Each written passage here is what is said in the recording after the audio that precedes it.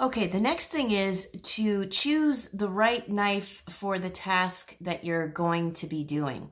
So I've got different varieties of knives here. I've got a very large chef's knife here, right? This is one you want to work up to. I've got a serrated knife. I've got a smaller. This size is great for kids. Smaller, uh, I would say a, a mini version of a chef's knife. And then a paring knife. Now, before we get into all the uses of those knives, important to remember uh, for your own self as a parent, when you're doing this process with your kids, the first thing is to become centered, to trust, and to be patient. So when you're doing the first step of teaching your child how to use a knife, don't be in a rush really make sure you're setting aside some time to do this in the right way so you have the patience with your child to go through the steps because when you're anxious, when you're nervous, is when you're going to make mistakes and when you possibly could hurt yourself. So one of the first things we teach at Sprouting Chefs with knife handling is confidence. Holding the knife properly in your dominant hand and holding it with confidence. So not holding it just a little bit, not being afraid of it, but really holding it securely. Also understanding that the top part of the knife won't be sharp, but the bottom part will. Now this is important too because I've seen kids go in and pick up, a knife this way. Very frightening. So always make sure they understand that this is the handle and this is the blade. A simple thing you would think that most people know, but a lot of first-time uh, students don't know that. So the top part isn't going to hurt them. They can put their hand on top of it. It's fine for extra security because that's what you want. The other important thing is a sharp knife is less likely to hurt you than a dull knife. Think about carving a pumpkin with a butter knife. That butter knife is more likely to slip and hurt yourself than a sharp knife that can easily cut through something. So we do have a tool here, a, a, a steel, and I'll just demonstrate, you know, quickly how to use it. You want to make sure that you're going down on a 45 degree angle approximately, one side and then the other side. So doing this first and showing the child that keeping it sharp also is very a respect, respectful thing for the knife. Most of the knives will cost between, you know, 15 to 150 $300. So you want to keep your knives in really good shape. Okay, so there it's sharp, right? Making sure your child is holding it the right way is the first step. The other thing is then to use this other hand is the other important tool. So making sure your, your nails are cut short and you're making that claw shape when holding the food and going up and down. So I will take a piece of celery, for example, and again, when you're starting this for the first time, ask your child which of these sizes they feel most comfortable with. Maybe they want a bigger size. Um, I have seen a six-year-old grab this first. Grab this huge, long chef's knife first. Made me quite nervous, Ronan. Now, despite my nerves, he was confident. So before I let him jump to this, I watched him first with a size of knife this way he handled it very well, and I did move him on to that one. But I wanted to see first and make sure that he could handle a smaller one first.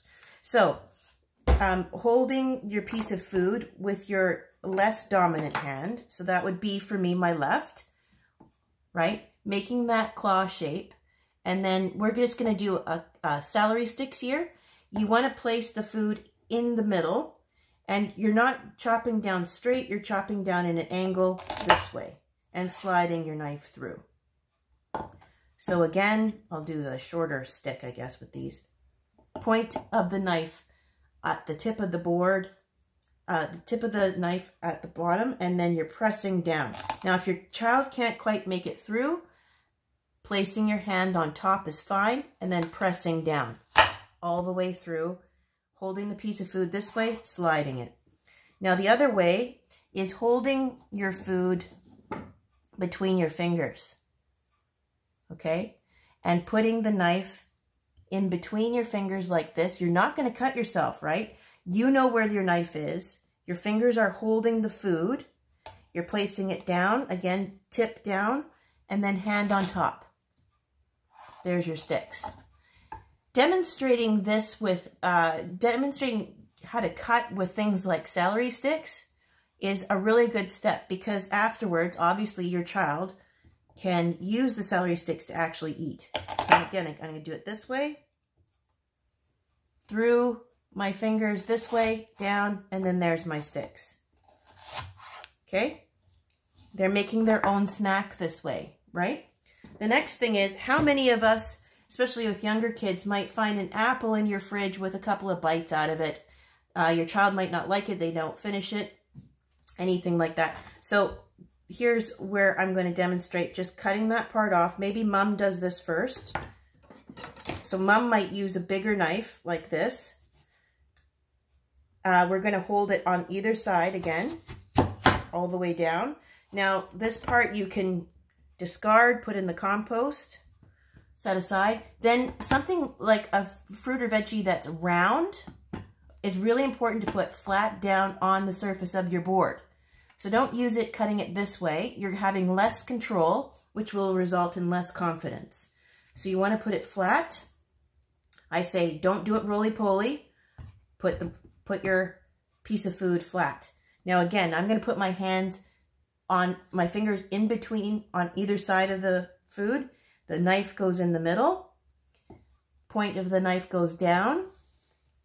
It's going to be a bit trickier, so I'm going to put my hand on top, and I'm going to use the weight of my body to press forward. Now, coring, that was a big knife. What I like to do with younger kids, it depends on your skill level and the age, but I like doing it this way with kids, is creating these quarter pieces, and then also coring it, coring the apple into my compost pile. And then your younger students or children can then practice. You've got a flat space on there again, and they can practice cutting whatever way they want. Now, if certain foods like tomatoes and, and foods with skins, peppers, tomato, um, apples included, you could, and if you have that hard time getting through the skin, just pierce it with the tip of your knife. Okay, make that little cut and then down. Doesn't have to be perfect cuts. That's a really key thing with all this too, is you're not looking for perfection here, you're just going for practice. Okay, so there's apples, celery. Now the other thing that we have a lot of times in our kitchen that we're using are lemons. Kids love lemons, right? So asking them to help you cut them is a good way to get them into the kitchen too. So it's, a, again, a round, roly-poly kind of um, fruit so you want to practice safety here. You're going to hold it this way really securely. If your child's having difficulty getting that knife through, let them get the cut going first. I can't do it quite yet. It's not, it's not working. Then get them to put their hands holding the fruit on either side with the knife in the middle. Then they can put their weight into it, put their hand, hand flat on top, and then press down. Now this is the cut we want when we're squeezing lemon juice out of it anyway. So that's basic knife cutting tutorial. If we wanted to get a little bit more advanced, if you have students or your kids that are have already mastered this part and you want to let them practice, say, a dice cut, so you could take your celery and we're holding it this way, and then we're just going to be moving the knife up and down and sliding it. Just get them to practice that motion. Let their arm and their hand muscles learn how it feels to slide the knife up and down, rocking it back and forth on the surface before they even cut. This is training their muscle memory in their hand, just to get used to this. Then you're going to put these, that you're going to put the object in between. You're going to hold it at the back. Notice my hands are curled in and tucked, and they're just going to practice that rocking motion. Down and slide, down and slide, down and slide. And obviously something like this is great for soups. Now, when you get to just the bottom ends, maybe ask them to put their hand over top for safety. When you have a pile of food like this on your surface, You don't want to scrape using the sharp end of the blade. That will dull your knife. You want to flip it over and scrape with the flat side. Now, if I was taking all of this and I wanted a mince cut, so this would be like a dice, a mince cut, which some kids are quite good at after they've really mastered these pieces, is point to the knife down, hand on top, and we're just rocking the knife back and forth, making a dice cut. So obviously this is good for dicing garlic or mincing garlic, mincing ginger, mincing herbs as well. So again, pile it all into the middle, hand on top, and we're just rocking back and forth, rocking back and forth, moving it into the middle. Minced celery is a great thing to have on hand if you're going to be making a risotto with onions, for example, for any kind of sauce. So there's a good practice. Now, we've got all this stuff on our blades. We're making sure that we're scraping off going downwards this way, downwards this way. And there's mince. So we've got different cuts we've done. We've done things just in half.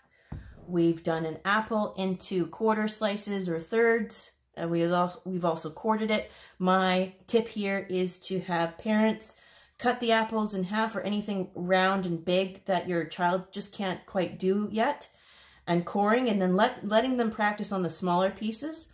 Here we've got the celery sticks and making sure, again, you're holding the food in between your fingers this way and you're putting the knife in, in the middle. We've got the mince and again, we have the simple dice, holding the food this way and rocking back and forth stopping when it gets too close, and then sliding the food, the blade end up, the sharp end up, and the flat blade part is used to scrape across the board.